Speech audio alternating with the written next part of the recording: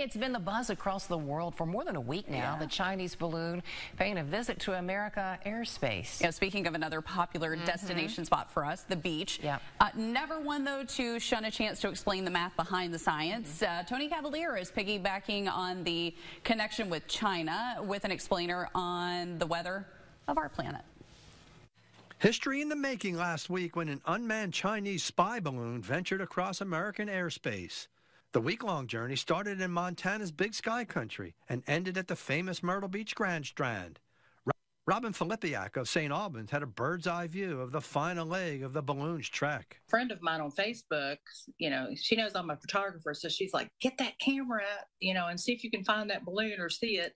So I went out on my uh, balcony there and I had looked up and lo and behold, it was right there. I started taking photos and it started going out over the beach. When the, in the meantime, the crowd was, I mean, gathering on the beach, taking videos, and sudden there was like four jets, I guess fighter pilots or pilots that came, and all of a sudden somebody said, and it just blew up. You know, it just and then when it did, it was so loud, and it just shook. It shook the um, concrete. It it set off uh, car alarms. I mean, it was something I thought this is kind of like history. I think right now, you know. So we were a part of it, and I cannot believe it just went right over my condo. It was kind of cool. It was kind of scary too because you didn't know what was going on with all those planes and the military stuff. So, you know, but that was the day. Everybody was cheering when it, you know, when it blew up. So I love to tie mathematics into physical principles and events. For example, the China balloon caper. Keeping in mind the balloon came from the Northwest Territories from Alaska up in the northern part of North America, traveled for 10,000 miles before it got to the Atlantic seaboard. And once the balloon flew off of the American mainland. For the first 12 miles, that is American water of the Atlantic Ocean. And it was important for the Air Force to intercept the balloon before it made out its way out over the international waters beyond 12 miles. So here comes the F-22 flying at a height of 55,000 feet and up at 60,000 feet, 12 miles high is the China balloon. The F-22 gets in position. Robin was saying she saw it in our Skype interview firsthand and missile shoots the balloon, which then cascades down into the waters, which are considered American, within 12 miles of the mainland. Now, it was important to get it as close to the seacoast as possible without putting anybody at risk because there's a continental shelf here off the Myrtle Beach Grand Strand and off most of the United States. As you get to the continental shelf, the water below the surface is 47 feet in depth. If you get beyond the continental shelf, and then the water goes down markedly, many, many more fathoms.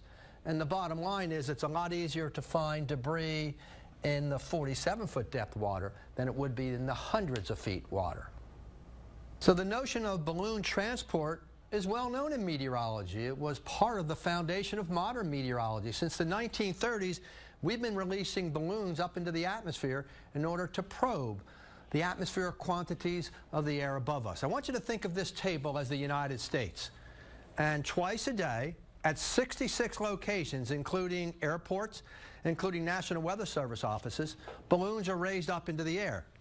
As late as the early 1990s, we actually had a balloon launch twice daily at the Huntington Tri-State Airport. Now Blacksburg, Virginia, and Wilmington, Ohio are the nearest balloon launches. So what we do, we've got these balloons, and we send them up. And what we're trying to do, of course, is to measure wind, temperature, humidity, pressure, as these balloons go up across the world.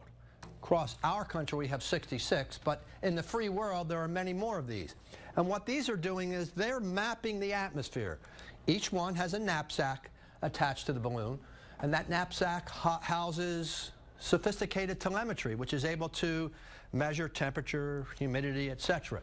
So twice a day over our country, over our continent, over the world, Balloons are launched, and they're getting us important data, data that we can put into our supercomputers in order to make accurate predictions of the weather.